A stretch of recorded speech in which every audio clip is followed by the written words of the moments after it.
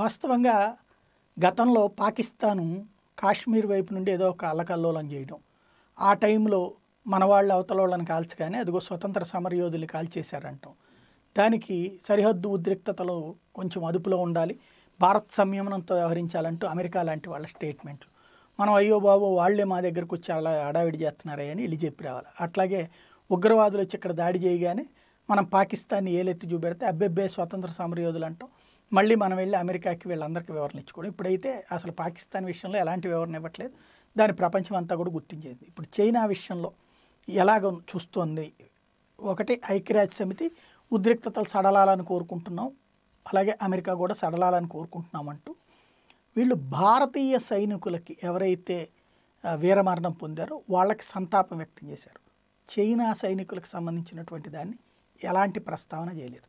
అక్కడ రెండు కోణాలు. ఒకటి చైనా అధికారికంగా ప్రకటన చేయకపోవడం. రెండవది వాళ్ళకి వాళ్ళు ఇస్తున్నటువంటి రెస్పెక్ట్ అది అనే కాన్సెప్ట్.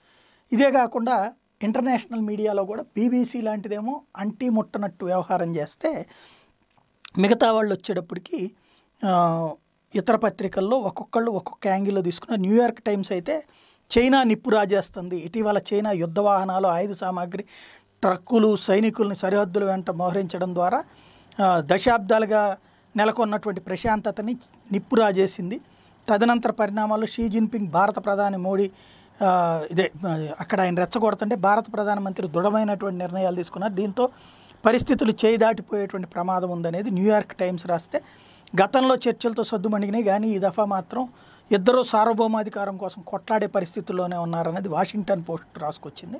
ఇంకోవైపున బీబీసీనేమో అంటి మొట్టనట్టు ఇండియా చైనా క్లాష్ అక్కడ అనేక సార్లు ఘర్షణలు చోటు చేసుకున్నాయి కానీ తోటాలు బేలలేదు. తాజాగా చోటు చేసుకున్న ఉద్రిక్తతలు ఆశ్చర్యానికి గురి చేసినాయి.